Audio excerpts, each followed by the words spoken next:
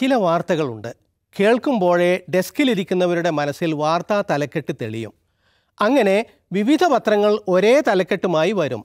മുണ്ടക്കൈ ചൂരൽമല ഉരുൾപൊട്ടലിൽ അത് നമ്മൾ കണ്ടു.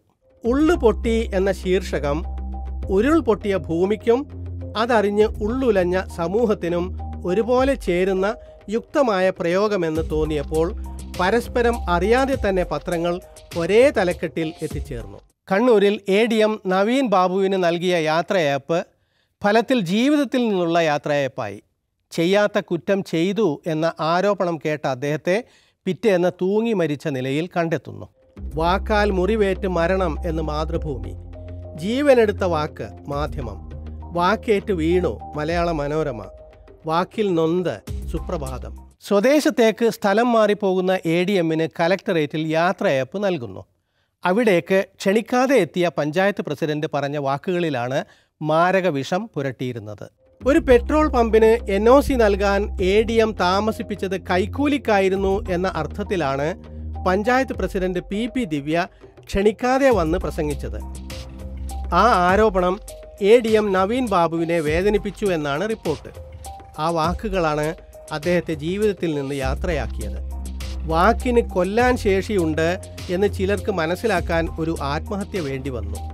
അധികാരമുണ്ടെന്ന കാരണത്താൽ എന്തും പറയാം എന്ന അഹങ്കാരം ഒരാൾക്ക് മാത്രമുള്ളതല്ല. വാക്ക് നോവിക്കാത്തിടത്തേക്ക് നവീൻ ബാബു പോയി. പക്ഷേ ഇതുയർത്തുന്ന വിഷയങ്ങൾ അത്ര എളുപ്പം മറക്കേണ്ടതല്ല. ഒരാളുടെ ഒറ്റപ്പെട്ട അബദ്ധമല്ല ഇത് എന്നതാണ് ഇതിനെ ഗൗരവതരമാക്കുന്നത്. അധികാരവും പാർട്ടി ബലവും എന്തിനുമുള്ള ലൈസൻസ് ആകുന്നത് എന്ത് തരം ജനാധിപത്യമാണ്? മരണത്തിൽ കലാശിച്ചതുകൊണ്ട് മാത്രമാണ് ശിക്ഷാ നടപടി എടുക്കേണ്ടി വന്നത്. ദിവ്യയെ സ്ഥാനത്ത് നിന്ന് രാജിവെപ്പിച്ചു. അവർക്കെതിരെ ആത്മഹത്യാ പ്രേരണയ്ക്ക് കേസെടുത്തു. അവർ തെറ്റായ സമയത്ത് തെറ്റായ സ്ഥലത്ത് ഉന്നയിച്ച ആരോപണങ്ങളും തെറ്റായിരുന്നു എന്നാണ് മനസ്സിലാകുന്നത്. പെട്രോൾ പമ്പിന് എൻ ഒ സി നിഷേധിച്ചത് നിയമപ്രകാരമായിരുന്നു. അതിന് എ ഡി എം കൈക്കൂലി വാങ്ങി എന്ന പമ്പുടമയുടെ ആക്ഷേപം അയാളുടെ തന്നെ മറ്റൊരു ഫോൺ സംഭാഷണത്തിലൂടെ റദ്ദായിട്ടുണ്ട്. നിയമപരമായ കാരണമുണ്ടായിരുന്നത് കൊണ്ടാണ് A D M N O C നൽകാതിരുന്നത്. N O C നൽകിയതിന് പിന്നിൽ രാഷ്ട്രീയ സമ്മർദ്ദമുണ്ടായി എന്നാണ് വാർത്ത. എൻ ഒ സി ആവശ്യത്തിലേറെ വൈകിച്ചിട്ടുമില്ല. ആരോപണങ്ങൾ വ്യാജമാണ് എന്നാണ് ഇതെല്ലാം കാണിക്കുന്നത്. ആരോപണം താങ്ങാൻ നവീന് കഴിഞ്ഞില്ല. വ്യാജ ആരോപണം മാത്രമല്ല മാനുഷികമായ പ്രശ്നവും ഇതിലുണ്ട്. രാഷ്ട്രീയ വാഗ്വാദങ്ങൾക്കിടയിൽ മറന്നു പോകരുതാത്ത വശം. പല തലങ്ങളിൽ ചട്ടലംഘനങ്ങളും രാഷ്ട്രീയ കളികളും നടന്നു. എ ഡി എമ്മിനെതിരെ മുഖ്യമന്ത്രിക്ക് മുൻപ് തന്നെ പരാതി കൊടുത്തതാണ് എന്ന വാദം ചിലർ ഉയർത്തി. അതും തെറ്റായിരുന്നു. രാഷ്ട്രീയ സ്വാധീനം പല പലതരത്തിലാണ് പ്രവർത്തിച്ചത്. അതേസമയം ഒരു പാർട്ടിയുടെ ആഭ്യന്തര വിഷയം മാത്രമായി ഇതിനെ കണ്ടുകൂടാത്തതാണ്. പാർട്ടി നടപടിയെടുക്കുന്നതോടെ തീരേണ്ടതല്ലല്ലോ കാര്യം. പാർട്ടി ആർക്കു വേണ്ടിയെന്ന് അവർ തീരുമാനിക്കട്ടെ. പക്ഷെ പാർട്ടിക്ക് മുകളിലാകണം നിയമം. അതിനു മുകളിലാകണം മനുഷ്യത്വം.